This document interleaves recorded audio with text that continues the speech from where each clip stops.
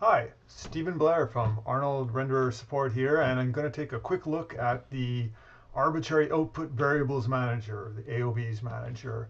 And in this short video, I'm just going to look at the AOV wizard. So we're just going to look at what this wizard does. So basically, it's a quick way to get a bunch of AOVs out of 3ds Max.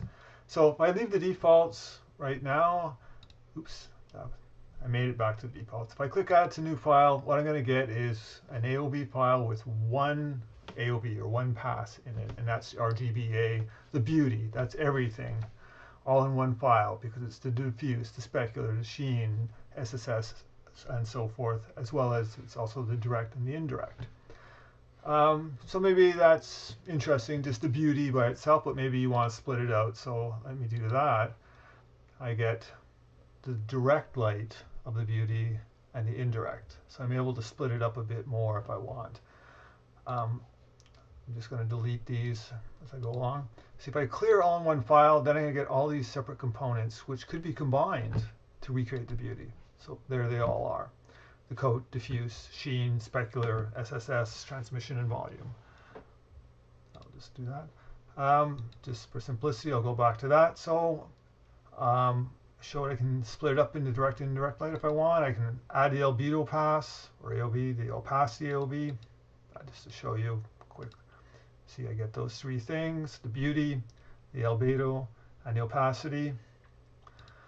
Or, you know, if I have light groups, and in this case I have, I have uh, three lights that I put in specific groups named key, rim, and fill. All the other lights are in default. Um, so if I just use these three lights, I want them, and I want to split the beauty based on those light groups. So that's what I'll get. The beauty for key, the beauty for rim, and the beauty fill light contribution. Um, or, you know, if I want to have every light that's not in an actual group as well, I could I do it this way. So you can see just by clicking these checkboxes and then add to new file, I'll get uh, a different set of AOVs.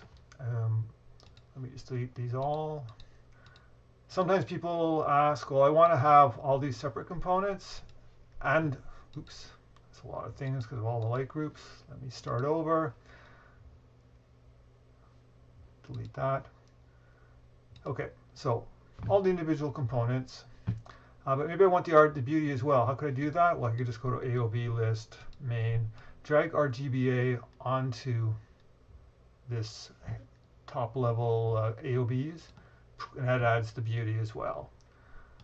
And one last thing, um, the light groups, same as file, which means all lights.